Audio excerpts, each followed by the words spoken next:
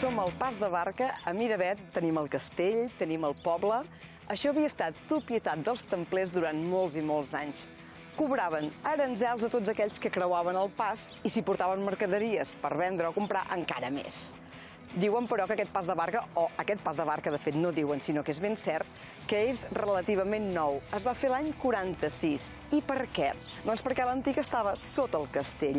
Va ser bombardejat durant la guerra i del 38 al 46 Miravet no va tenir pas de barca. Va haver de fer un gran tomb per sortir cap a aquesta banda del riu. Si voleu saber-ne més, però, del pas de barca, de Miravet, dels templers, dels canterers que també devien fer negocis amunt i avall, us conhortem a veure, a mirar, a escoltar el capítol de Patrimoni de Llegenda titulat Miravet, Bruixes i Canterers.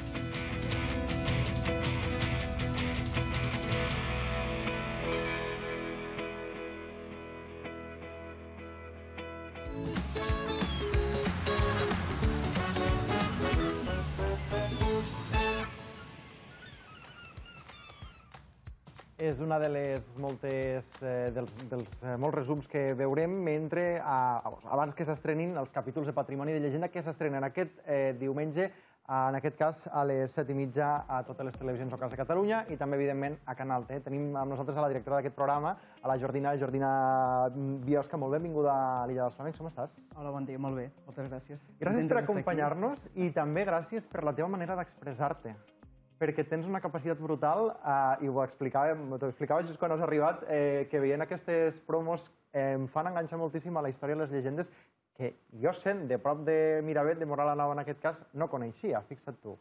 Anem a parlar de patrimonis de llegenda. Què és el que podrem veure en aquest programa?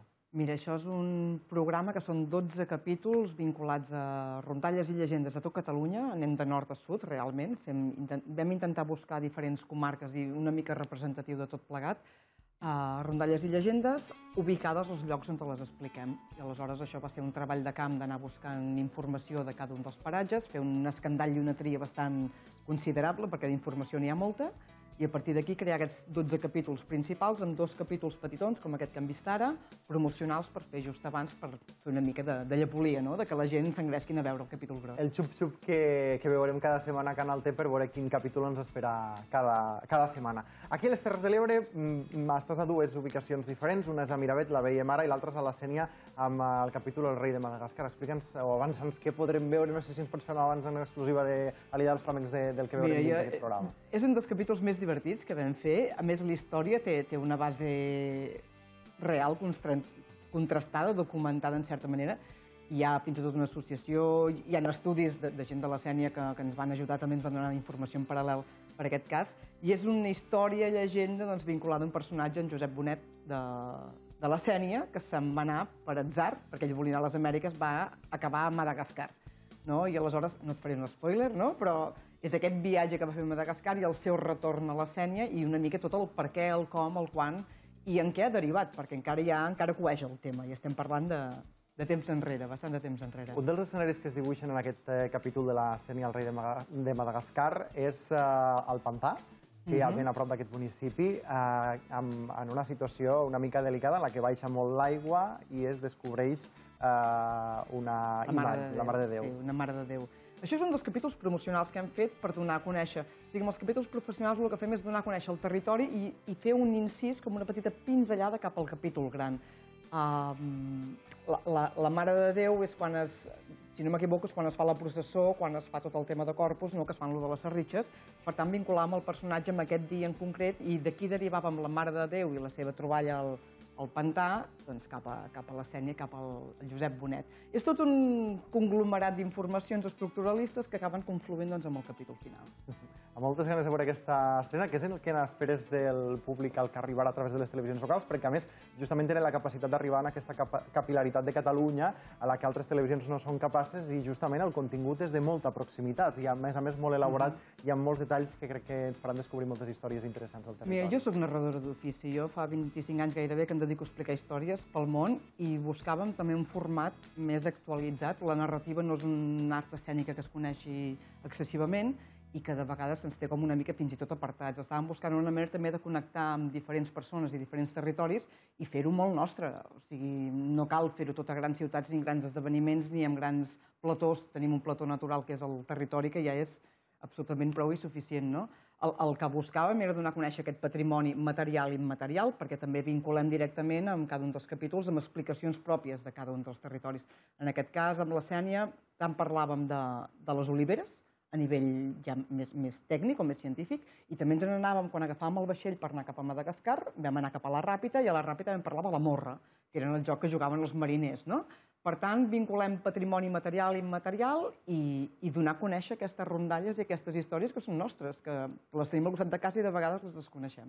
Ganes de descobrir-ho, això serà el dissabte de set i mitja, ets narradora, explicaves, i també directora d'un festival, el Festival EVA, que just uh, també s'ha dut a terme a, molt a prop de casa nostra, i hi ha actuat la companyia CIA Sinergia, que són, són companys de, de professió, a més a més han compartit alguns, alguns punts en comú, i han estat al festival. Com va anar? Com, com ha estat? Mira, fa...